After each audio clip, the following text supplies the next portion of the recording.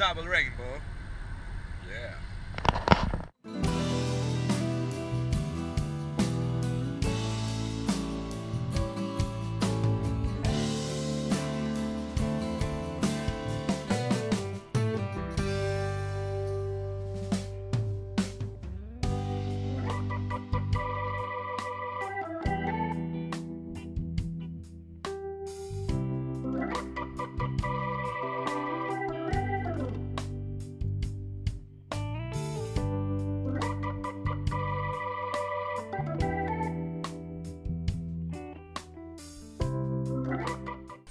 Karl, var det kul att dyka?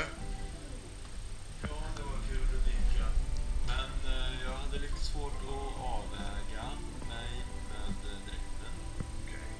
och eh, västen och eh, flaskorna som sitter på och sådär. Erik? Jag är så jävla nöjd att jag råkade ha handskar på mig för att perfekt passform.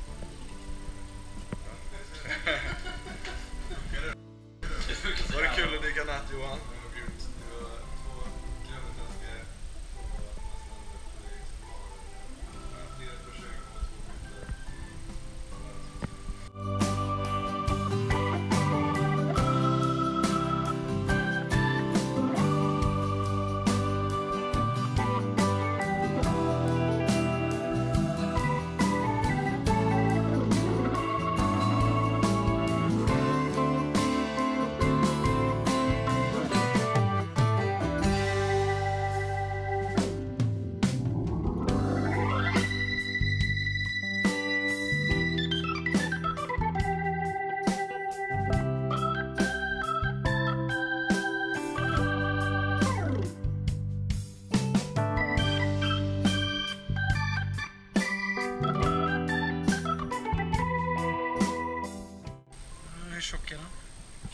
Tjockare. Jag tjock är? Om jag sätter på mig den här också